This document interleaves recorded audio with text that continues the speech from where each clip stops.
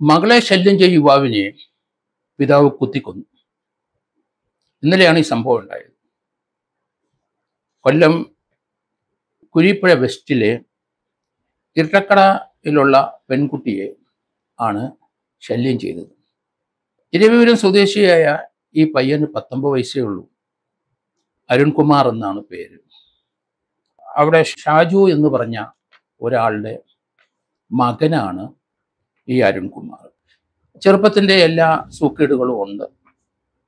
കുട്ടിയെ പല പ്രാവശ്യം ശല്യം ചെയ്യാൻ തുടങ്ങി. പിതാവ് വാൺ ചെയ്തു. പിന്നെ അത് വകവെക്കാതെ ആ പത്തൊമ്പത് വയസ്സുകാരന്റെ തിളപ്പ് ആ പെൺകുട്ടിയുടെ പുറകെ പോയി നിരന്തര ശല്യമായി. പിതാവ് പല പ്രാവശ്യം ഇവന് വാണിങ്ങി കൊടുത്തു. കേൾക്കുന്നില്ല. ഇത് കേരളത്തിലുള്ള കുട്ടികൾക്ക് ഈ പ്രായത്തിലുള്ള കുട്ടികളുടെ വല്ലാത്തൊരു സൂക്കേട് തന്നെയാണ്. സ്വന്തം മകളെ ഒരു പിതാവ് ശല്യം ചെയ്യുന്ന കണ്ടാൽ എത്ര നാൾ നോക്കി നിൽക്കും? കേരളത്തിൽ ഇതുപോലെയുള്ള സംഭവങ്ങൾ വളരെ കൂടുതലാണ്. ഇതുപോലെ പോയി ശല്യം ചെയ്ത് കുത്തേറ്റ് മരണമടയുന്ന പയ്യന്മാർ പത്തിരുപത് ഒരു ധാരാളം പേര് കേരളത്തിലായി.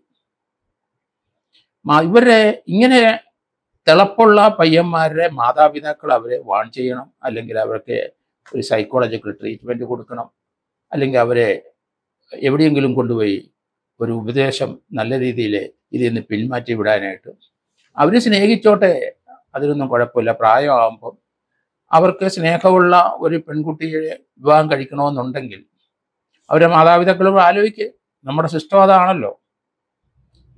അത് വകവെക്കാതെ ഒരു പെണ്ണ് തന്നോട് പ്രേമമുണ്ട് തനിക്ക് അങ്ങോട്ടുണ്ട് എന്ന് കഴിഞ്ഞാൽ സർവതും മറന്ന് തന്റെ മാതാപിതാക്കളെയും മറന്ന് തന്റെ ചുറ്റുപാടുകളും മറന്ന് തന്റെ ഭാവിയും മറന്ന് ആ പെൺകുട്ടിയുടെ വീട്ടിൽ പോയി ശല്യം ചെയ്ത് അവിടുന്ന് എതിർപ്പ് വാങ്ങിച്ച് ചിലപ്പോൾ അവരുടെ ബന്ധുക്കൾ കുത്തിക്കൊല്ലുന്ന സംഭവങ്ങൾ ഉണ്ടായിട്ടുണ്ട്.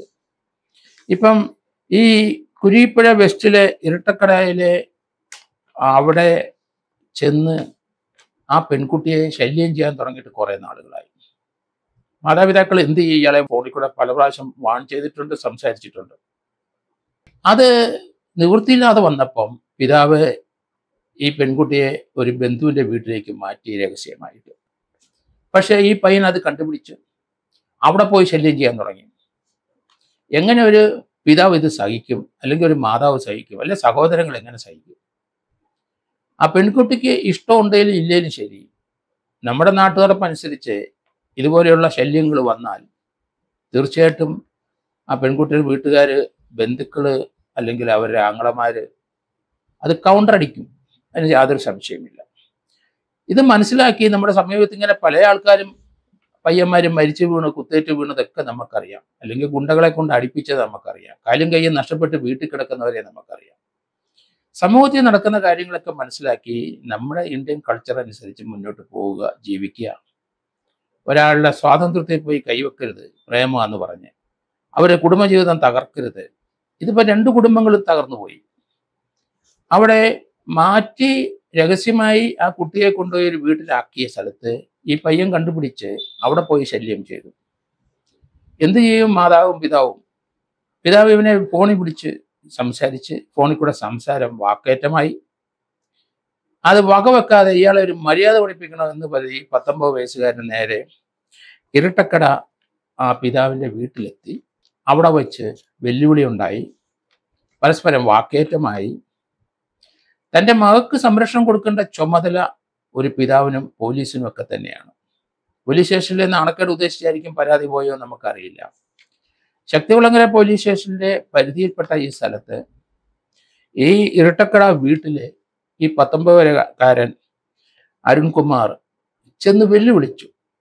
ആ വീട്ടിൽ കയറി വാക്കൗറ്ററായി വാക്കൗറ്റം മൊത്തം തന്റെ കൈ കിട്ടിയ കത്തി കൊണ്ട് അരുൺകുമാറിനെ നെഞ്ചിലേക്ക് കുത്തി. പിതാവ് കുത്തുകൊണ്ട് താഴെ വീണു. അയാളെ അവിടുത്തെ ജില്ലാ ആശുപത്രിയിൽ കൊണ്ടുപോയി. അവിടുന്ന് അന്നേരം തന്നെ അവിടുത്തെ ഒരു പ്രൈവറ്റ് ഹോസ്പിറ്റലിലേക്ക് മാറ്റി അവിടെ വെച്ച് മരിച്ചു. പത്ത് വയസ്സുകാരന്റെ ജീവിതം തീർന്നു. പത്തൊമ്പതാമത് വയസ്സിൽ ആ ജീവിതം അവസാനിച്ചു എന്നാണ് നമ്മൾ കാണുന്നത്. ഇതെന്തിനു വേണ്ടിയിട്ടാണ് വാശി വൈരാഗ്യം? ഒരു പക്വതയില്ലാത്ത പ്രേമം. ഇതൊക്കെയാണ് ഇപ്പം കേരളത്തിൽ പൊതുവെ ഇതുപോലുള്ള പിള്ളേരുടെ ഇടയ്ക്ക് നടക്കുന്നത്. ശല്യം സഹിക്കാതെ വന്നാൽ എന്ത് ചെയ്യും? പ്രതിരോധിക്കാനേ പറ്റുള്ളൂ. ഇതിനകത്ത് ഈ പയ്യനെ നെഞ്ചിലേറ്റ കുത്തുകൊണ്ട് മരിച്ചെങ്കിലും ആ പെൺകുട്ടിയുടെ പിതാവിന്റെ വീട്ടിലെ ട്രസ് പാസ് ചെയ്ത് അവിടെ ചെന്ന് വെല്ലുവിളിച്ചതാണ്. തന്റെ വീടും തന്റെ പ്രോപ്പർട്ടിയും തന്റെ മക്കളെയും സംരക്ഷിക്കാനുള്ള അവകാശമുണ്ട് നിയമപരമായി. അവിടെ കയറി വെല്ലുവിളിച്ചു. പ്രൈവറ്റ് ഡിഫൻസ് ഉണ്ട് ആ വീട്ടുകാർക്ക്. അതുകൊണ്ട് ഈ കേസിന്റെ മുന്നോട്ടുള്ള ഗമനത്തിൽ വലിയ മെച്ചം ഉണ്ടാവും തോന്നുന്നില്ല. നഷ്ടപ്പെട്ടത് ആ അരുൺകുമാറിന്റെ മാതാപിതാക്കൾക്കാണ്. മകനെ നഷ്ടപ്പെട്ടിരിക്കുന്നു പത്തൊമ്പത് വയസ്സുകാർ ഇങ്ങനെ ഒരു ശല്യം മകന്റെ ഭാഗത്തു നിന്ന് ഉണ്ടായിക്കൊണ്ടിരുന്നപ്പോൾ ആ മാതാപിതാക്കൾ നേരത്തെ ഇടപെടാമായിരുന്നു ഞങ്ങളുടെ പൊന്നുമോനെ ആ ഇതുപോലൊരു അന്ത്യം ഉണ്ടാകാതെ സംരക്ഷിക്കാൻ കഴിയുമായിരുന്നു. എന്നെങ്കിൽ പോലീസിൽ പരാതിപ്പെടണം. അല്ലെന്നുണ്ടെങ്കിൽ ഏതെങ്കിലും സൈക്കോളജിസ്റ്റിനെ പോയി കാണിക്കണം മകനെ. പോലീസിൽ ഇങ്ങനെയുള്ള വീർത്തിയുള്ള പയ്യന്മാരെ പോലീസിൽ പരാതിപ്പെട്ടാൽ പോലീസ് അത് നോക്കും. അവരെ വാൺ ചെയ്യും. അവരെ നിലയ്ക്ക് നിർത്തേണ്ടടുത്ത് നിർത്തും പോലീസ്.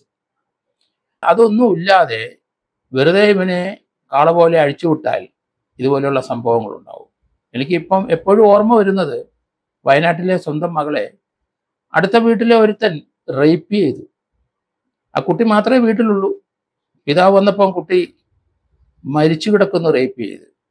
വീടിനടുത്ത് ആ വീട്ടിൽ നിന്ന് മാറി അവരുടെ പൂന്തോട്ടത്തിന്റെ സൈഡിൽ അവിടെ കൊണ്ടുപോയി ഒളിപ്പിച്ചു വെച്ച സംഭവം. എന്തായാലും പിതാവ് വന്നപ്പോൾ മകളെ കണ്ടില്ല. മകൾ ഇങ്ങനെ കിടക്കുന്നത് കണ്ടെത്തി. കാര്യം മനസ്സിലായി. തോക്കെടുത്ത് മറ്റേയാളെ പോയി വെടിവെച്ച് കൊന്നു. ആ പിതാവ് സന്തോഷത്തോടെ ജീവപര്യന്തം തടവ് അനുഭവിച്ചോളാം എന്ന് പറഞ്ഞു. മകളെ എന്റെ മകളെയാണ് അവൻ റേപ്പ് ചെയ്ത് കൊന്നത്. തിരിച്ചു കൊന്നു. അപ്പം ഒരു മാതാപിതാക്കൾക്കും ഇതുപോലെയുള്ള കെട്ടുറപ്പുള്ള കുടുംബങ്ങളിലുള്ള അവിടെ പോയി ശല്യം ചെയ്താൽ അവർ പ്രതികരിക്കും പ്രതിരോധിക്കും. അതിനകത്ത് പ്രേമത്തിന് വലിയ കാര്യമില്ല സ്നേഹത്തിന് വലിയ കാര്യമൊന്നുമില്ല നമ്മൾ ഇതൊക്കെ ഇന്ത്യക്കാരെ പത്തിരണ്ടായിരം മൂവായിരം കൊണ്ട് കെട്ടിപ്പടുത്തതാണ് നമ്മുടെ കുടുംബ അന്തരീക്ഷം. ആധുനിക യുഗത്തിലെ ഇതുപോലെയുള്ള ലിവിങ് ടൂതറും മറ്റതും മറിച്ചതൊക്കെ അവരുടെയൊക്കെ ജീവിത കോഞ്ഞാട്ടയായിട്ട് പോകുന്നതാണ് നമ്മൾ കാണുന്നത്. അങ്ങനെയുള്ള ധാരാളം കേസുകൾ കേരളത്തിലുണ്ട്. അത് എങ്ങും എത്താതെ രണ്ടു കുടുംബവും നശിച്ച് ആ രണ്ട് കുടുംബത്തിലെ അംഗങ്ങളും എങ്ങുമില്ലാതെ പോയി ചിലർ ആത്മഹത്യ ചെയ്യുന്നതൊക്കെ കാണാം. ഇതുപോലെയുള്ള പക്വതയില്ലാത്ത എടുത്തയാട്ടമുള്ള കുട്ടികളുടെ മാതാപിതാക്കൾ അവരെ കൗൺസിലിങ്ങിന് വിധേയമാക്കണം. അവരെ അവരുടെ ഉപദേശം കൊടുക്കാൻ കഴിവുള്ള സാറുമാരെടുത്തോ അല്ലെ സമൂഹത്തിലുള്ള പൊതുപ്രവർത്തകർക്ക് ഹാജരാക്കണം. അല്ലെങ്കിൽ പോലീസ് സ്റ്റേഷനിൽ കൊണ്ടുപോയാൽ മതി. അതിനുള്ള സംവിധാനം പോലീസ് സ്റ്റേഷനിലുണ്ട്. അവരുടെ മനസ്സ് കുറച്ചുകൂടെ പക്വതയിലോട്ട് കൊണ്ടുവരാനായിട്ടുള്ള ശ്രമം ഉണ്ടാകണം. ഇവിടെ പത്തൊമ്പത് വയസ്സുള്ള അരുൺകുമാറിന്റെ അന്ത്യം ആ വീട്ടിൽ പോയി ശല്യം ചെയ്തുകൊണ്ടാണ്. ആ പെൺകുട്ടിയെ പ്രേമിച്ച് ആ പെൺകുട്ടിക്ക് ഇഷ്ടമുണ്ടോ ഇല്ലെന്ന് നമുക്കറിയില്ല.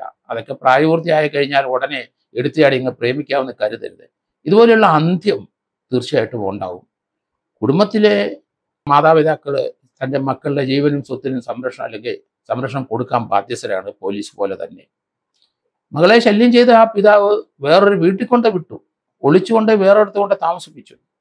എന്നിട്ടും അരുണിന്റെ സൂക്കേട് തീർന്നില്ല. ആ കുട്ടിയുടെ അവിടെ പോയി ശല്യം ചെയ്തത് മാത്രമല്ല പിതാവിനെ വന്ന് വെല്ലുവിളിച്ച് വീട്ടിൽ കയറി.